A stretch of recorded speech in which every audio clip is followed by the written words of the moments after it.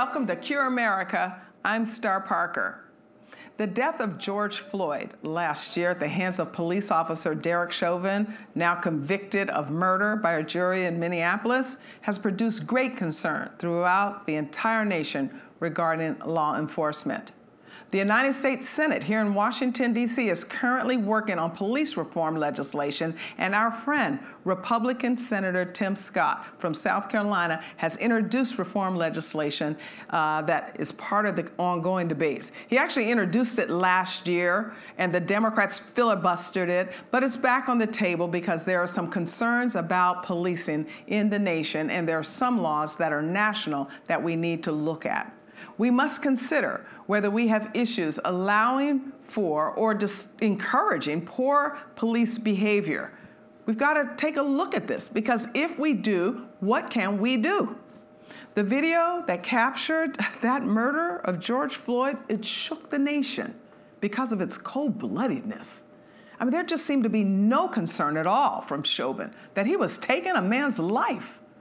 There was just no threat to him as Floyd lied there, handcuffed on the ground. This made it even more difficult to understand why Chauvin chose this deadly path to restrain his prisoners. It's not even fair to his fellow officers to have to watch this happen. The incident has brought to light many issues that affect not just the black community, but our entire nation. We want to look today at one particular issue that might be a factor that enables uh, this irresponsible behavior by some police officers. It's a legal doctrine called qualified immunity. Yep, we'll have to all look it up together, but I did, and you're going to have an interesting discussion time with us here on Cure America. The allegation is that qualified immunity allows police officers to violate the civil rights of citizens without concern that they uh, will be punished for it or that they can be legally liable. I mean, that's what we saw with Chauvin. I mean, there was just no regard. He, he thought he can get away with it, and he thought that this man is not human enough for me to consider otherwise. Whether police officers violate civil rights of citizens in any way, for any reason, should be concern for all of us. So we're going to look into the question of qualified immunity today. We're going to keep it really simple for all of us to understand. And we're going to discuss if this is an area of law that might need some reform. Liberals keep saying that we need to reimagine the police and the whole police department should be abolished, all of them, all across the country. Or nationalizes what they really want so they can move toward their little totalitarian state. But we know that would be a disaster, especially if uh, for the people in our most distressed zip codes, whether we're talking local policing, none, which is what they say they want, or national policing, which they won't get any help when they need them. We heard the call, help, get a police officer here now, help. Yet we know that there's a problem with aggressive policing. And we, and we have to look at some serious questions behind this when it comes to the way some police officers do their job. We know Chauvin had 18 complaints against him before that fatal incident with George Floyd. So, so why was he kept on the force? This is a deep subject, and actually, uh, there are a lot of government officials that are nervous about us discussing this qualified immunity because it affects all of them. They, they need to be protected from, from citizens that might want to uh, file a false claim uh, when they're just doing their job. So it's a really deep subject, but we're going to talk about it when it comes to reforming the police because we want safe communities, we want safe police officers, we want civility and calm and peace, according to what the scripture says we deserve when we have law enforcement and a rule of law.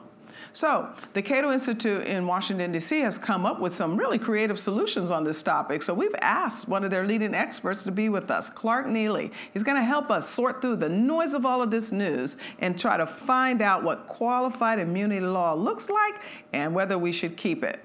Clark is Senior Vice President for Criminal Justice at the Cato Institute. His area of interest includes constitutional law and police accountability. He formerly served at the Institute for Justice and is an adjunct professor at the Anton Scalia School of Law at George Mason University. Oh, yes, very impressive.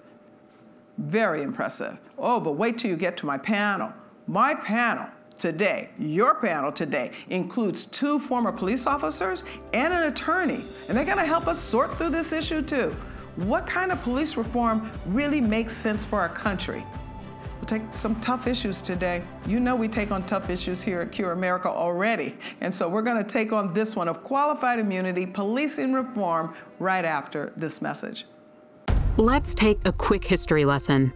Just two centuries ago, 94% of the people in the world lived in extreme poverty.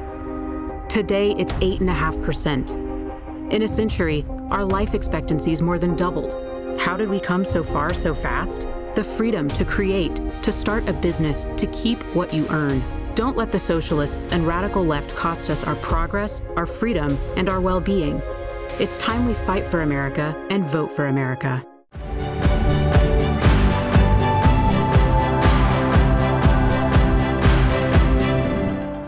As I told you in the opening, I have an incredible guest. You are going to appreciate that Clark Neily is with us. He is the Senior Vice President for Criminal Justice at the Cato Institute.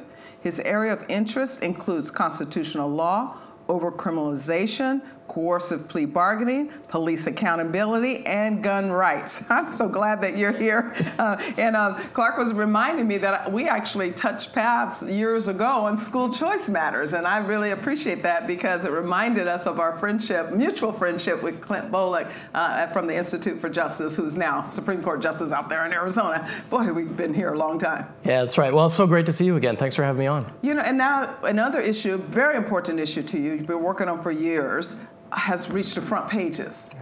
A lot of people aren't even familiar with the term qualified immunity. They're wondering what is going on. They know something is going on. we know that policing is local. We know unions are one part of the equation. But to find out about this quality, um, uh, qualified immunity, that's a national issue that now the um, Senate is discussing. Perhaps you can start us just at the basics. What is it? You bet. So the reality is that we have some police and other government officials who are very respectful of people's constitutional rights, and we want to support them and make sure that they are able to do their job and that they get the respect that they deserve.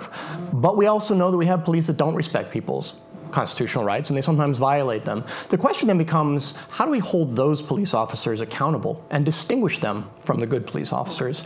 The problem with qualified immunity is that it represents um, a really bad policy that was invented out of whole cloth by the Supreme Court. Back in the wake of the Civil War, Congress enacted a law that enables anybody whose rights have been violated by a government official to have the ability to sue that person in federal court.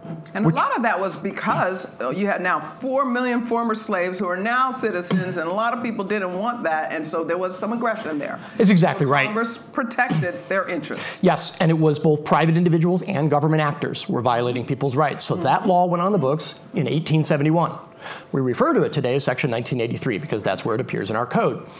Um, that, I think, is a really uh, smart approach, right? You say, look, the good police officers will be fine when you don't violate people's rights, but if you violate people's rights, they get to take you to court.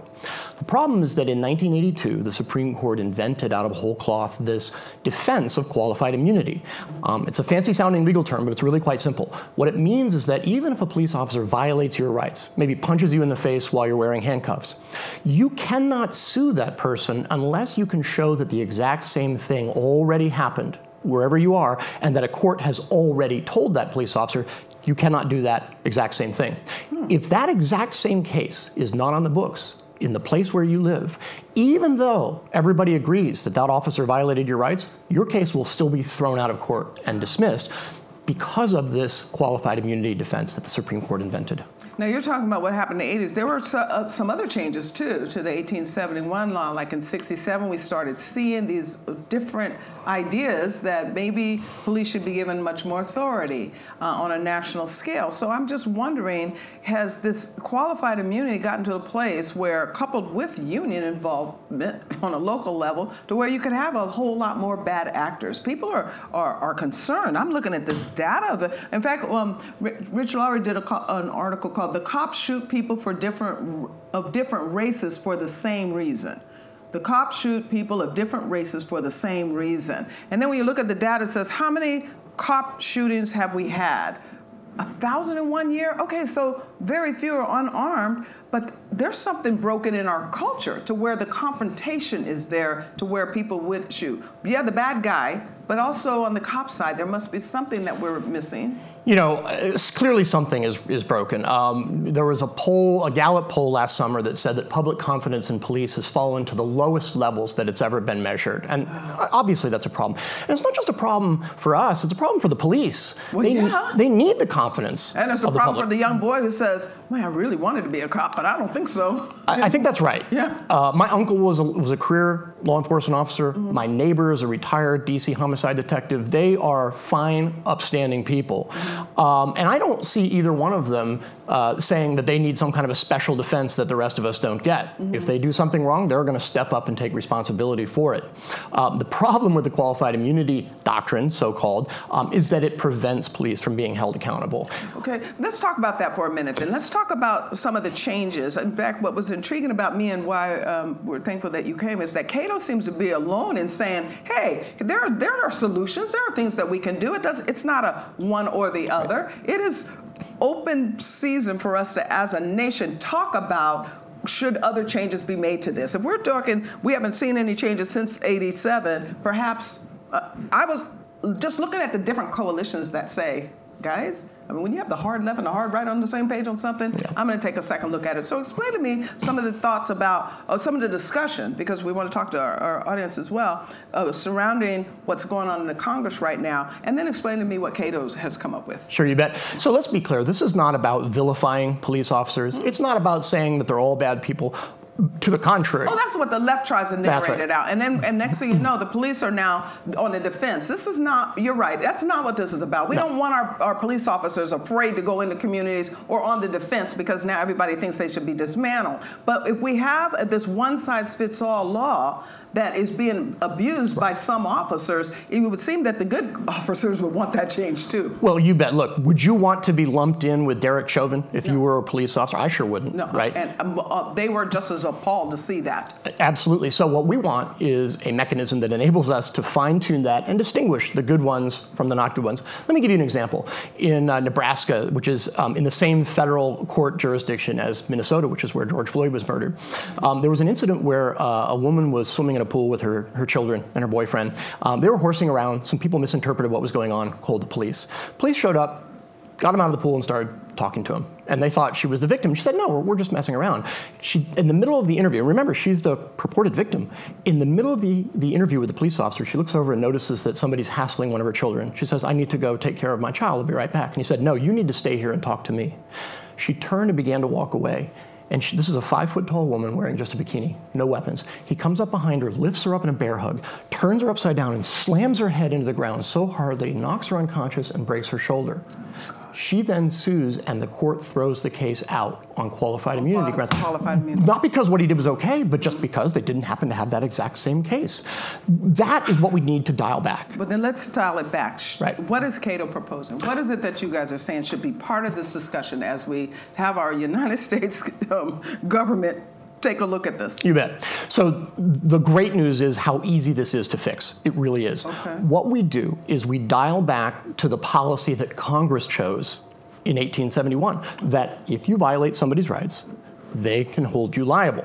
Now, what we proposed actually um, provides significant compromise to law enforcement. We propose to go even further than that and say, look, if you were acting in good faith pursuant to some order that you received, right, or some policy that turns out not to be valid, but at the time it was reasonable for you to think that it was, mm-hmm.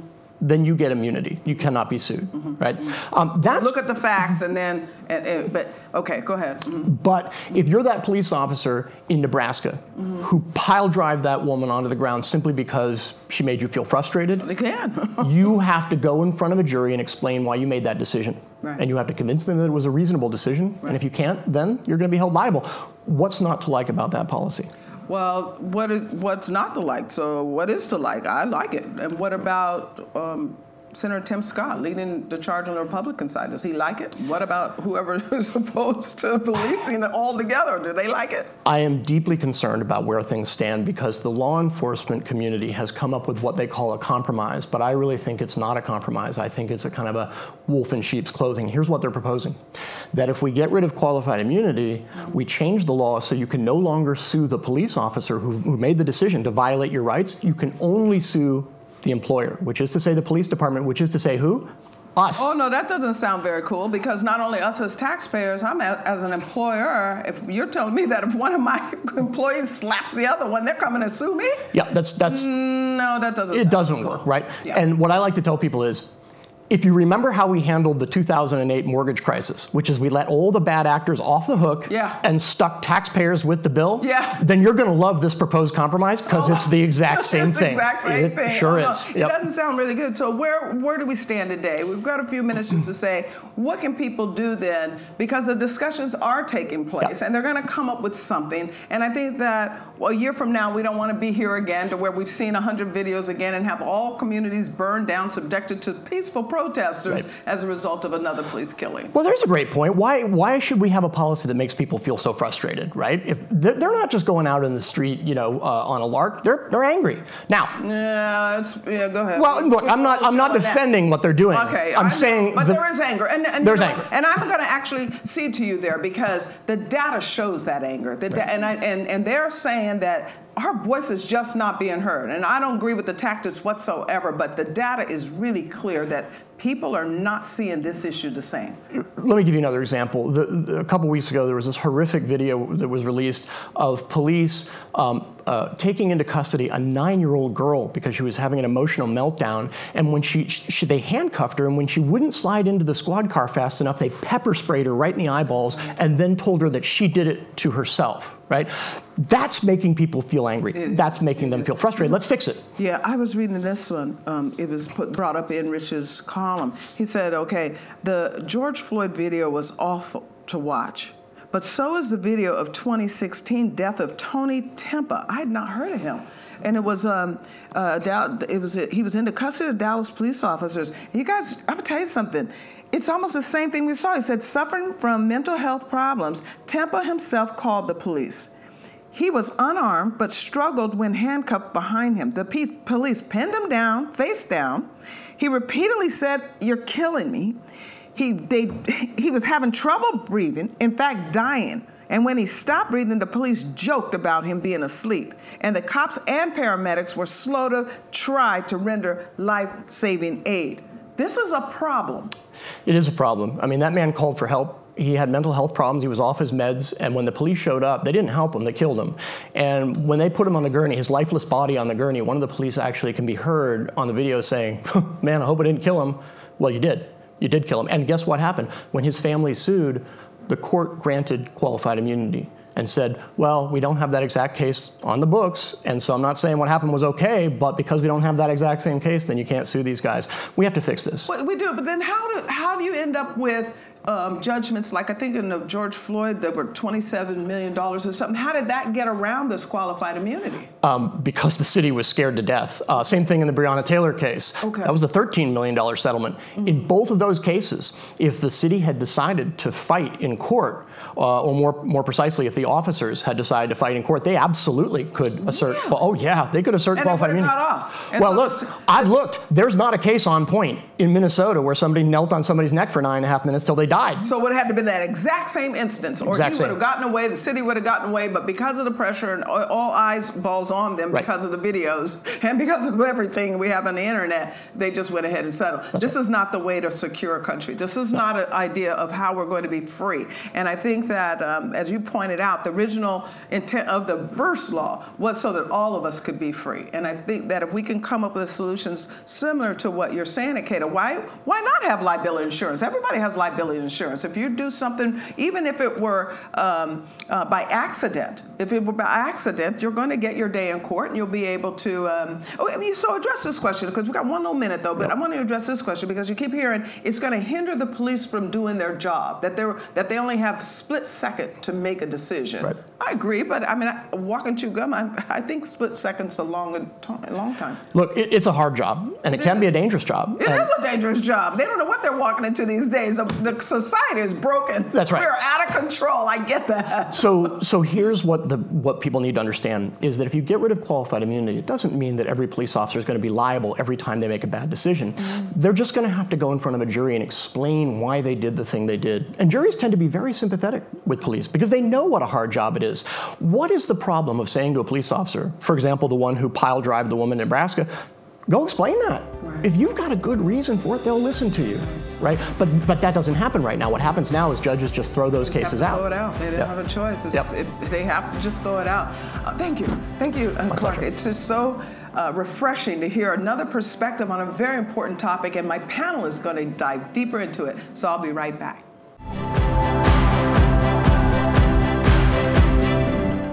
Too important a topic for us not to discuss on Cure America. So I have a distinguished panel, uh, really a good panel today because we have two police officers with us, or former police officers with us. But I also have my most favorite constitutional attorney, Jonathan Alexander. Hey, thank you for being with us. Attorney, Senior Counsel for Government Affairs at Liberty Counsel Action. Uh, we all know that this is the place to go if you have problems in the Christian community with um, people trying to sue you. Uh, but no, they're dedicated to advancing religious freedom, the sanctity of life, family issues since 1989. And they actually provide pro bono assistance when it is something of urgency uh, related to these topics. So we really appreciate you guys over there, and you know it, right? Yes, ma'am. Thank you for having me once again. I'm looking forward to hearing your perspective on this because I, I didn't even know anything about a qualified um, immunity. Yeah, we'll see but I I- and when I de- found out about it, you know, I had to call one of my pa- favorite pastors, my favorite pastors, um, uh, Reverend Charles Winston McNeil. Thank you again. He's senior pastor of Unity Baptist Church here in Washington, D.C. Some of you've met him before because he's my go-to sometimes when it comes to these policing matters that we've been dealing with in particular over the last year. Pastor McNeil is part of Cure's clergy program. He also served in the U.S. Army as well as was a police officer here in Washington, D.C. And he's also in, uh, works with a network of other clergy here in the Baptist community. So thank you for being here. Thank you for inviting me. Really appreciate it, and looking forward to hearing your perspective as well. Um, th- you know, the Congress is talking about this, so we better too. Everybody knows something's going wrong. What's the old saying? You- Who you gonna believe, them or your own eyes? And so we need to see what's really going on. So I appreciate. I have a very new guest, Jason C. Johnson. You're the president of Law Enforcement Legal Defense Fund. That's interesting. Over 20 years you were a police officer, law enforcement officer, and executive. He served as deputy commissioner of the Baltimore Police Department and as chair of the Baltimore Police Department Performance Review Board. And this is the board that I understand conducts the detailed internal reviews of all of these types of cases, deadly force, police officers. This is a fascinating special guest. And well, thank you. That's good to be with you. Uh, should I tell my audience that when I saw him, like, yeah, he's a police officer, all right? I don't hide it well. And then I said, and then I said, uh, and probably the son of a police officer. You said, no, first and last, first and because it's a problem. It is. Policing is a problem today. And I understand that you may even disagree with our first guest from the Cato Institute who says we need to get rid of this qualified immunity because it, it will hurt policing. Um, I mean, it will help us as a society if we get rid of it. Um, and you're thinking it'll hurt policing. That might be a problem with us saying, get rid of this protection in law. So I'd like to start there. What we know the we can see it. We can see it. So maybe we should just dive right into Sure. What is that issue? Why is it that you have police unions and policemen saying, don't do this to us, but you have others, including myself, leaning that way to say, this sounds like it's in the way? Well, first of all, I think we have to put it all in its proper context. So, qualified immunity applies to all government employees. It's not just something special for law enforcement. It applies to all lower level government employees. Oh, is that why they treat us so bad over there at the IRS? It could be. Is that what- It could be. But higher level, higher level uh, executives, judges, legislators, they have that, prosecutors, they have absolute immunity. Okay, so it's not qualified on anything. They have absolute immunity. Okay. Uh, Meaning lower- they can never be sued. Not for anything that relates to their decision making process for their Okay, they cannot Correct. be sued because I think that this is something we have to explain. They can't be sued in civil court for something that had to do with their decision making process. So if a judge says, "This is what I see," he, they no one can come back and say, Correct. "I'm suing you for that decision." And that's Okay. because of their judicial immunity. And so they have a judicial absolute immunity. Explain what the police officers have. They have qualified immunity, and so do teachers and firefighters and uh, sanitation workers. All, all, all lower level working and government employees have qualified immunity. Now, qualified immunity is qualified, so you have to qualify for it. And um, you know, Professor Joanna Schwartz from Yale Law School did a study a couple of years ago to determine how frequently police officers are actually it blocks lawsuits against police officers. And she found it's only about 4% of the time where there's a lawsuit against a police officer and that case is dismissed be, just because of qualified immunity. So I think when I say give it context, I mean let's, let's actually look at how frequently qualified immunity comes into play. Yeah, but I don't know because that might mean that people don't do it because they know that they're not going to win anyway. So I'm not sure that I, I, saw a lot of her work. I thought I had it over here, but let's let's um let's look at the reasons one might want to sue a police officer. I mean, people were appalled by what we saw in that video, and then to find out that well, there are things that can be done to maybe get rid of bad cops. Um, well, that's probably why it's on the discussion table. None, none of the cases that we're, we're all familiar with, the, the mm-hmm. Derek Chauvin case and many other cases of, of supposed police misconduct, none, none, of, none of those cases, qualified immunity won't impact the recovery of the survivors or of the victims of the police conduct. It just okay. isn't. Those cases Many of those cases have already settled. Um, well, so there's already been a settlement. So there was yeah. no impact. Qualified immunity did not. Didn't help him. I, we talked about that a little bit. But um, Pastor, I'm going to come to you, a former police officer, DC. I mean, mm-hmm. this is hard work. Mm-hmm. And I get that. And I just don't want anyone to think by us trying to search for the truth in this that we're saying that bad things about police officers. Everyone understands authorities. Why I have my scripture open to submit to the governing authorities. They don't carry the sword for nothing. You, if you're good, hey, you don't have anything to worry about. But if you're bad, you should be afraid. We know that. What's going on? What tell tell me your thoughts on on, on what the former officer, your colleague, just said, and and what the Cato guy is saying. Hey, get rid of this stuff. Well, you know, um, Star, you know, uh, since I've been coming, we've always talked about uh, policing, and one of the things that I've always said is that we have to put the humanity back into policing. Uh, what we're seeing now uh, is a lot of bad uh, cops, bad actions, and we have to be able to say, hey, look, this officer uh, in the George Floyd case in that case, uh, that was bad act. Uh, and he has to be held accountable for that. Right. All right, qualified immunity, whatever. Uh, we have to now be, how are we going to change this culture? Uh, in policing? How are we going to change the behavior uh, of these officers if we continue to have this qualified immunity piece there? Mm-hmm. Uh, you know, I, I, don't think you should get totally uh, get rid of it, mm-hmm. but maybe you need to look at it. I'm not an attorney. About it. You have yeah. a discussion about yeah. it. Because usually when we were talking about this mm-hmm. issue, and we have since um, the mm-hmm. George Floyd video, I mean, my goodness, he, he didn't even uh, Chauvin didn't even show any expression that he was troubled. He's killing a man. And we're all watching this, we're appalled. And we've had discussions about what's broken down in these communities that they're trying to fix. I mean, that's the last place you want to go to police. But if they don't parents, they don't have a pastor, they don't have a principal, they don't have a politician that's telling them you need to behave, then yes, they're going to run into the law.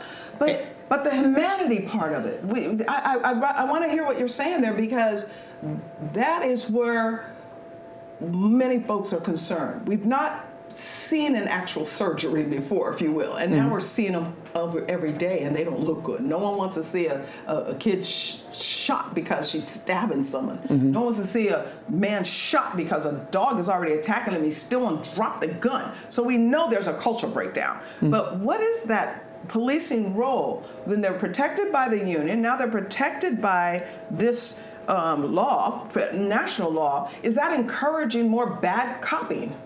I think it's encouraging more bad actions. Bad uh, actions. Yeah, I think it's encouraging more more bad actions uh, because because copying's within their training. So right. Yeah. okay, you know so because if the if the cop, you know, when I was a cop in D.C., I acted within my training. Okay. Uh, not only did I act within my training, but I also acted within my humanity. Okay. Uh, even there were times when I was on the street that I could have used deadly force. Wow. But because of my concern, my humanity, uh, uh, of not hurting someone uh, and, and, not judging someone yeah. or prejudging someone uh, made me look at it in a different way. Okay, how can I de escalate? okay. this situation? How can I bring this down? You know, th- there are options. Well, now, you have that on, option because if you look at what happened with that police officer mm-hmm. and that woman, I don't. I'm on the side that that was a good shoot. He didn't have a choice. That girl was getting ready. Oh, yeah. I mean, you're in an act, Jonathan. Mm. Look, I don't. I'm, the, the unions are protected on a local level. Now this immunity is uh, qualified immunity is protected on a national level. Is it a protection they need? You're, you're a constitutional Yeah, lawyer. Is uh, there something we can do to make it so that it's more equitable? Yeah, certainly, and I think the, the discretion that officers want to show, the humanity that officers want to show, is bolstered by qualified immunity. And in the context that it is more than just an officer that gets this qualified immunity, um, one of the tenets of qualified immunity is that this person is acting reasonably. So this person can make a calculation, they can work through an issue, and oftentimes it is a split second decision that they have to make at the time. Qualified immunity allows an individual both entering into the career of policing to say, well, I, I can still maintain my humanity, I can still maintain my you know judicial approach to evaluating a situation and not have the threat of financial damages if I make an error or what someone considers to be an error. Which you kind of, which is a concern because you don't want an officer who's getting ready to go into a home, or with someone mentioned the Breonna Taylor situation, to have to say,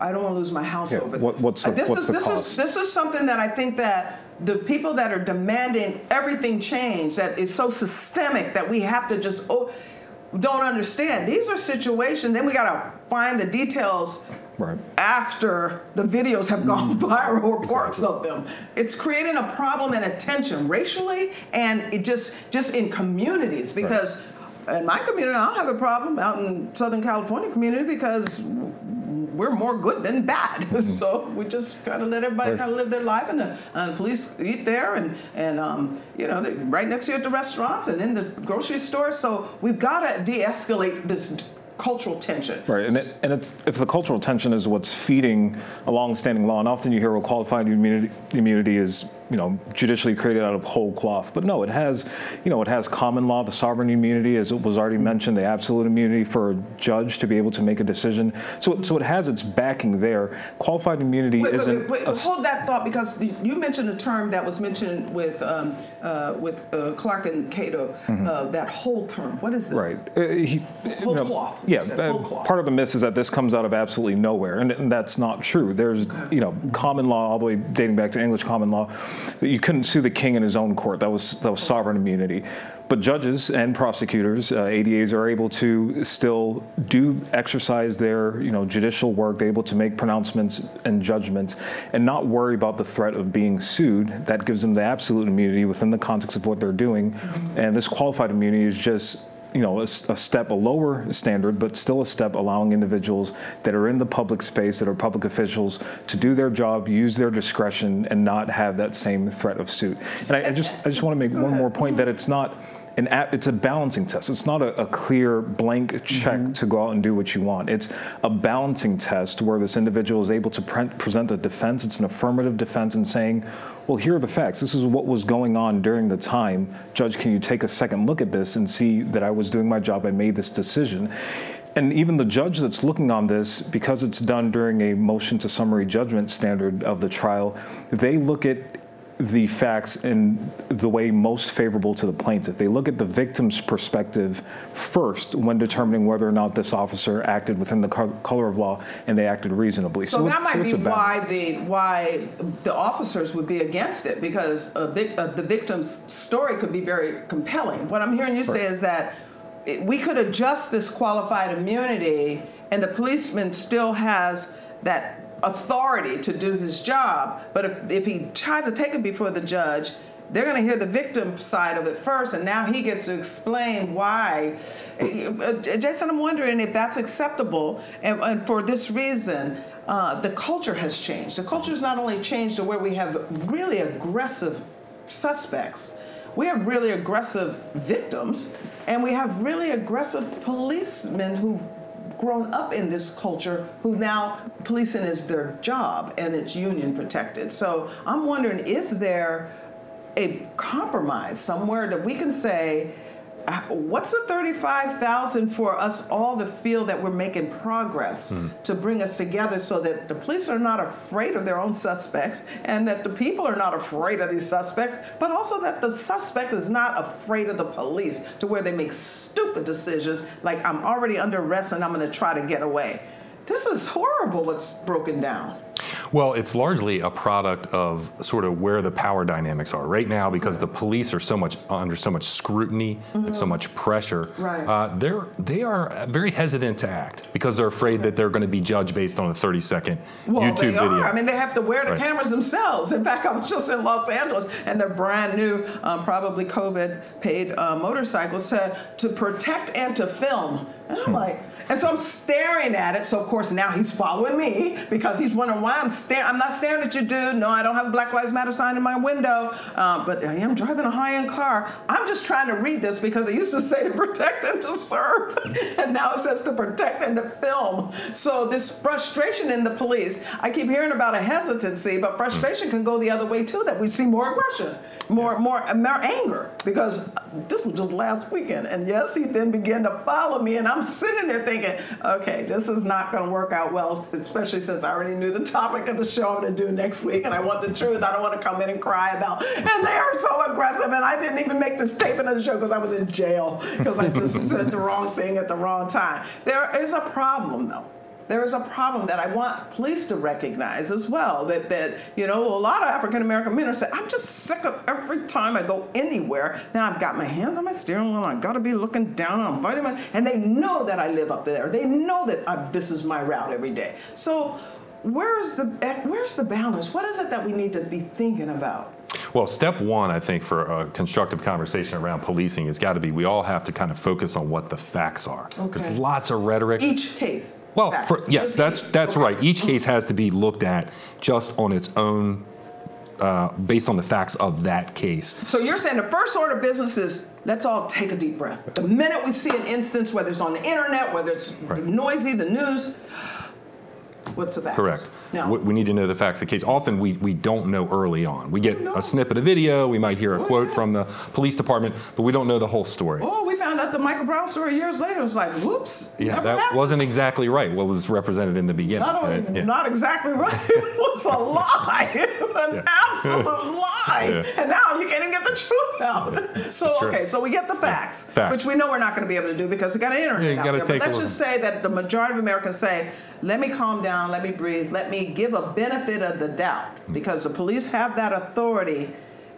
Uh, But I, I go ahead because I It doesn't go against accountability just to allow an investigation to happen and allow for there to be some due process. That doesn't. People don't trust the police. I, I was looking at the data. They're just saying they don't trust them. So Mm-hmm. Yeah. if you don't have, if you have a society that doesn't trust their the law enforcement,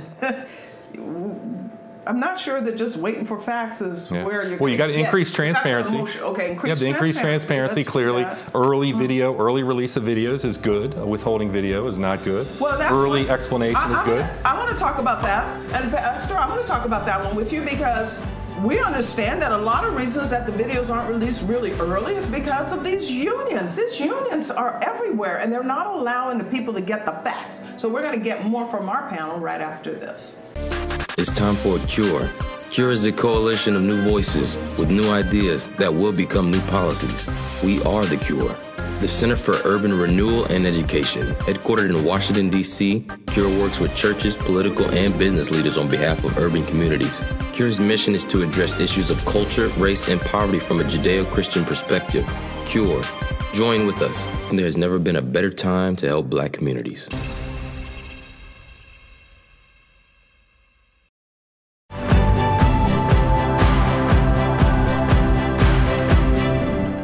Telling my guests that, um, you know, I don't want a police officer who's my pastor or the politician or the parent or the principal. I want a police officer to be armed and ready to keep my neighbor sent away from me if he thinks he can threaten me. Uh, that's their role. And so there's been a lot of discussion about this militarization of police officers and they're trained killers and then they're union protected. We're just hearing a whole lot of bad stuff. So I'm so glad I have uh, police officers with me, former police officers. Jason Johnson, president of Law Enforcement Legal Defense Fund. That must be really interesting because now this sounds like you are gathering funds to help police officers who um, might find themselves in a crisis, might be standing before the judge. Yeah, we do. That's actually a big part of what we do is we raise money to support the legal defense of law enforcement officers who are wrongfully charged with Wow. crimes related to their work. My goodness, you know, I met a Uber driver um, just a, within the last couple of weeks. I was down in Dallas, and she drives Uber specifically to raise money for the wives of officers that have been wounded. She says, I don't want them to go to work. I don't,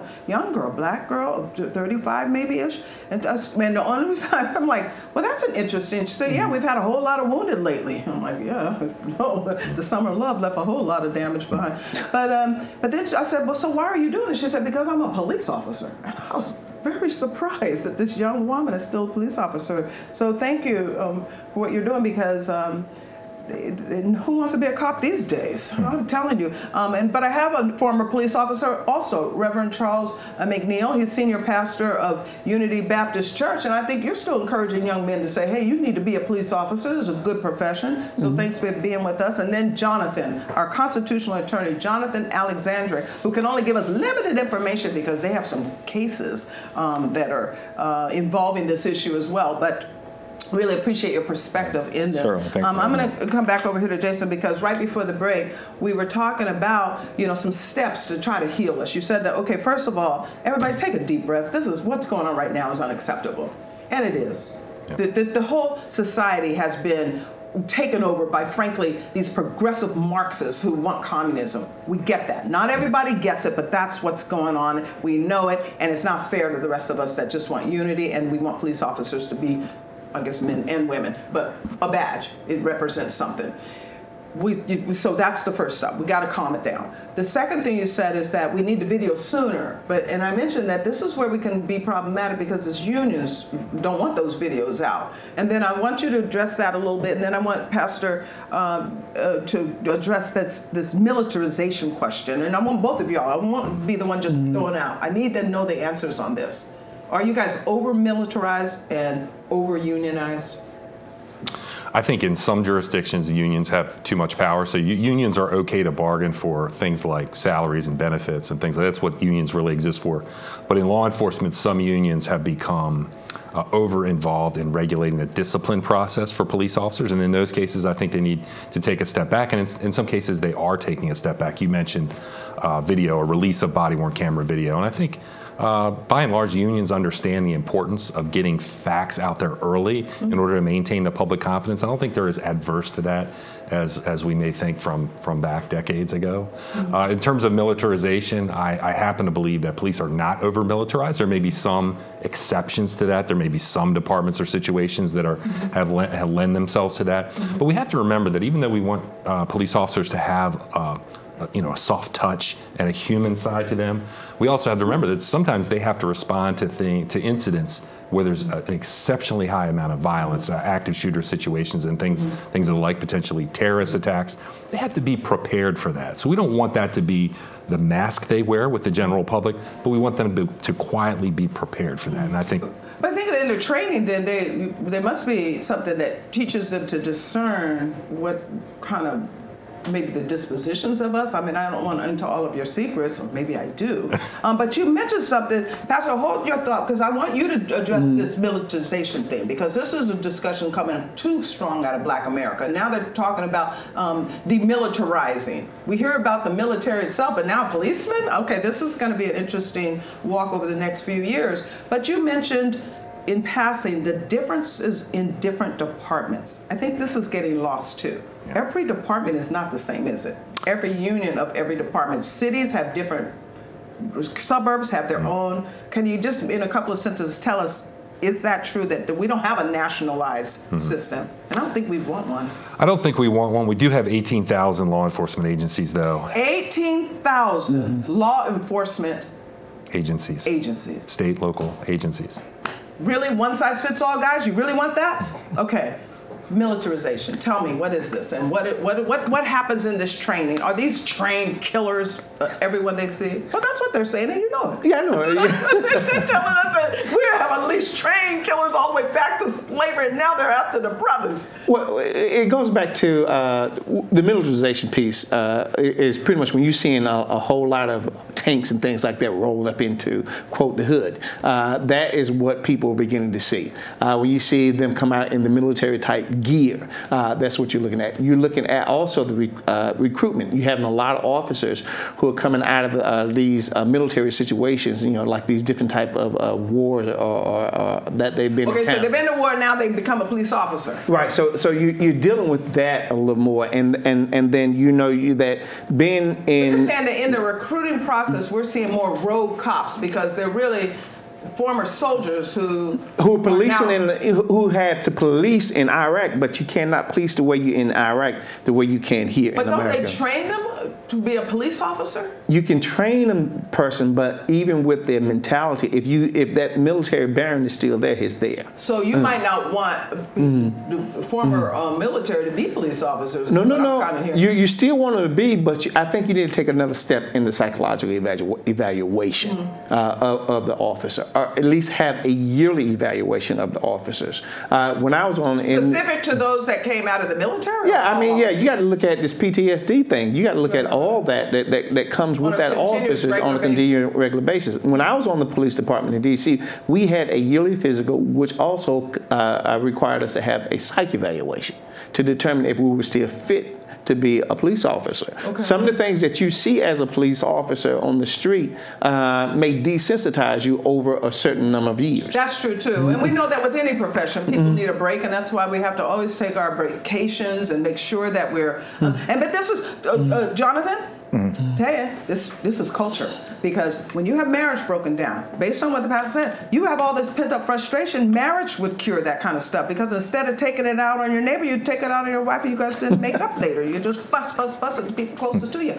But culture has broken down. Yeah. We're looking at a whole lot of male energy now in our urban centers that is just untrained. Their dad isn't there to channel that energy to sports or to school, and it's ending up in the streets, and it's costing us all. And I, while I'm concerned a little bit about now this question of, hmm, former soldiers are now policing, and the nature of unions, they're policing the poor communities because the nature of unions, the rookies and the rebels are going to be assigned the hardest jobs which comes first? Yeah. The, the, the, the, try to demilitarize the police, or is it, or is it that we need to do something about culture? Yeah, and, and I think that's a fantastic question. I'll I'll share personally. So I'm I'm not always wearing a suit jacket. I'm not always in a suit. And I'm always an African American male.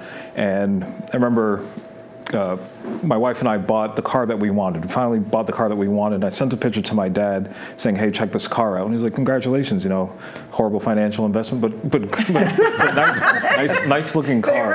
They are. Right. um, but at least you're looking good. but but but his first question was, how are the police down there with regard to a black man driving that car? Because he's been in the back seat when we were driving his car, my brother and I, and have seen us get pulled over for absolutely no reason. Oh. The excuse that the officer used wasn't wasn't a good excuse whatsoever. He's seen his sons. He better not say anything. Right. He's seen his sons pull into the home that he's paying for and having a cop follow behind them asking what are you guys doing in front of this house so he's seen his son his sons african american males uh, in interactions with police officers that were unlawful and were based on prejudgments made.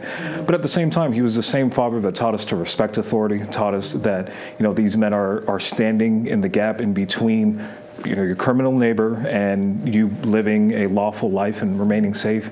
He's the one that taught us to dial 911 if an issue comes up and having the relief being shown when a police officer comes and literally stands in the gap and rescues you from that situation. So it's always that balance that needs to be struck. Fathers continue to instruct their children to, to respect authority, but not being naive to the situations that, of, of course, occur consistently, um, um, oftentimes on a daily basis. The burden to, to carry. But it's interesting that um, you had a dad to teach you this. Right. So now we're looking at a whole lot of disproportionate amount of African American young men who don't have a dad to teach them mm-hmm. that. And over time, you, you, you get mad. And now you have the politicians screaming to everyone to go and destroy if you don't get your way. You have the principal who's saying, I don't want to even open the schools. These people can't learn. You, it's all broken.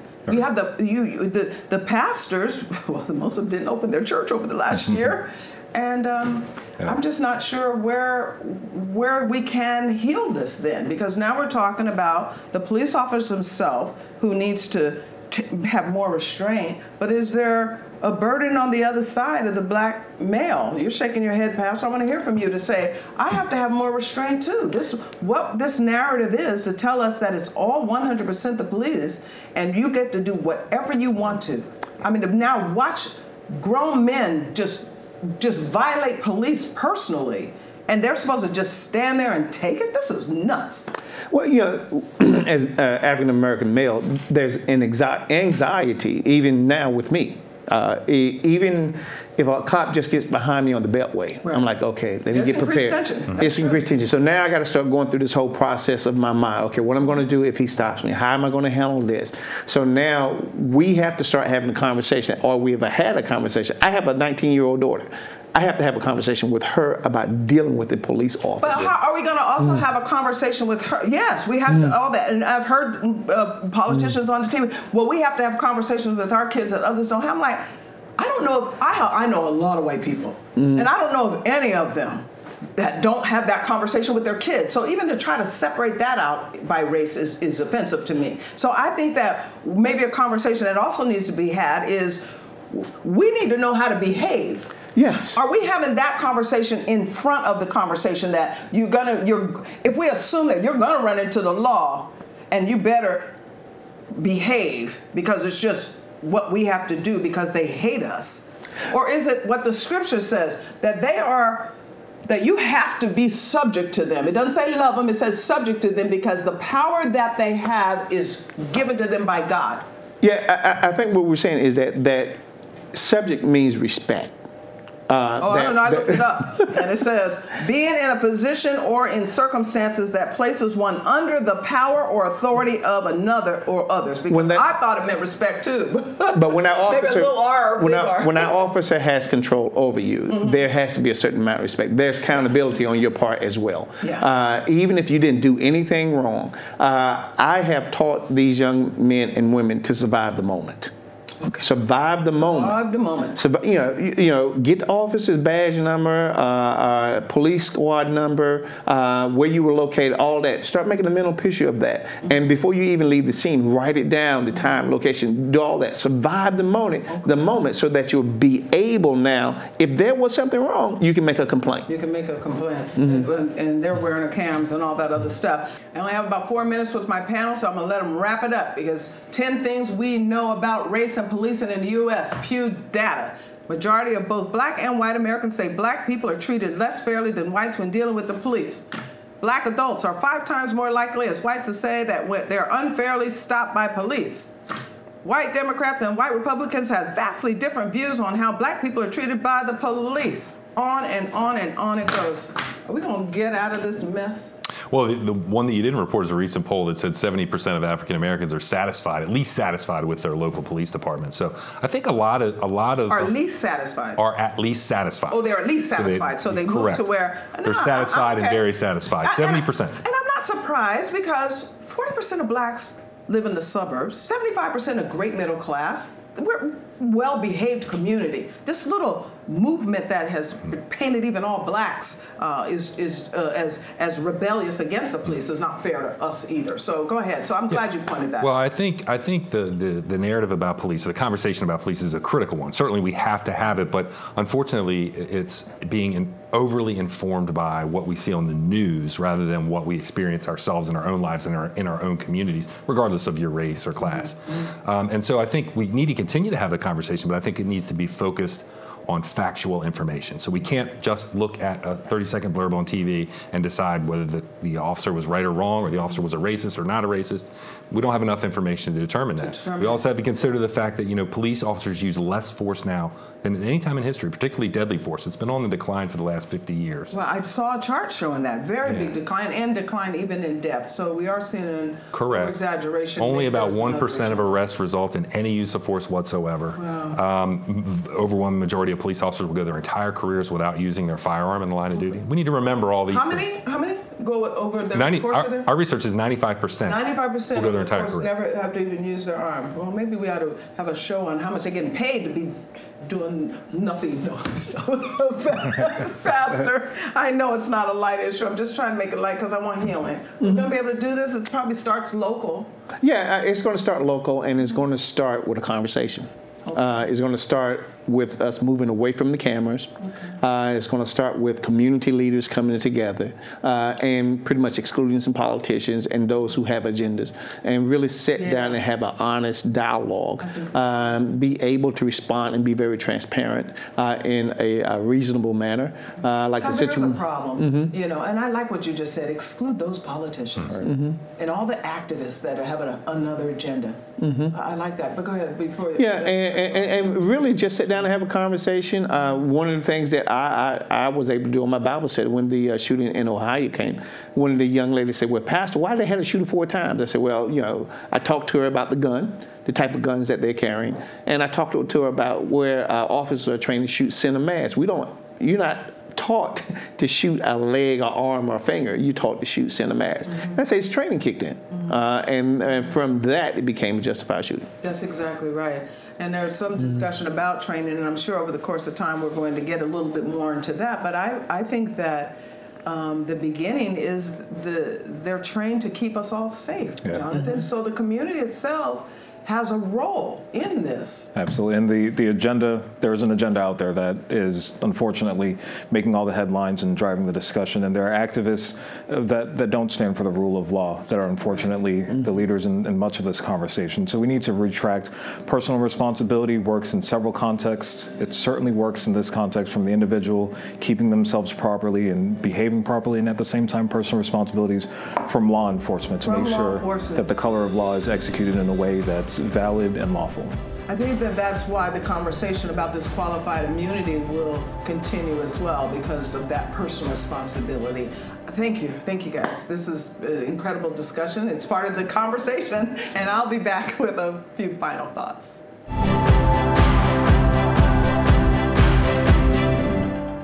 Now, that was a powerful discussion. Having important insight from two former police officers, one a pastor, one working currently with police officers who say, I was just trying to do my job. They've been on the front lines. They've seen all sides of this argument. And I know that you uh, really enjoyed the, the discussion with, the, with our special guest, with the attorney. We know law enforcement performs a vital function in our society. They keep us safe. They're, when we know that there's a problem, we go to 911. For some to talk about abolishing the police is just crazy. It's, it's irresponsible, it's reckless, and it's increasing racial tensions right now. But our country is being torn apart over these issues because policing right now needs serious reform. When we start finding about different issues involved in their protections, whether it's union, whether it's uh, this immunity, we have to find an equitable way of solving the problems we have in our society today. Pastor McNeil said community leaders have come together, have to come together we have to talk to our children about right and wrong, what to do when you're in front of the authorities. The police, oh my goodness, when they pull you over, I tell you, this is tense. And we're seeing that tension. And we need to think about the right answers. Well, one right answer is personal responsibility. Personal responsibility must be the hallmark in a free country, whether we're talking about obeying the law or whether we're talking about enforcing the law. But if police have free license to violate citizen civil rights as they do under this qualified immunity, then the law has no real meaning. Eh, They're not responsible. When right and wrong becomes ambiguous, when personal responsibility becomes ambiguous, we're seeing the looting, we're seeing the rioting, we're seeing the confusion of a lot of people, and we're seeing the tensions rise. We're seeing the chaos. And you all know we've got to do something.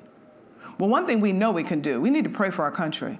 And we need to pray for those in authority over us. The scripture says we must. The scripture says we must be subjected to them. But we must have law authority that's over us that is also in line with the scriptures. That includes police officers. They must be have, they have a tough job, but they must be responsible in that job. they're not above the law. So let's pray. Let's pray for those in government. Let's pray for the members of Congress because they're now debating this issue. And that outcome can go either way right now because the Democrats and Republicans are very split on what we need to do. We need to come out at least one thing that can move forward uh, the, the conversations, the discussions, and that one thing might be over reforming, I guess I should say, this, um, this, this immunity. To be free, we must come up with right answers, and one of those answers might be this uh, qualified immunity needs to be reformed.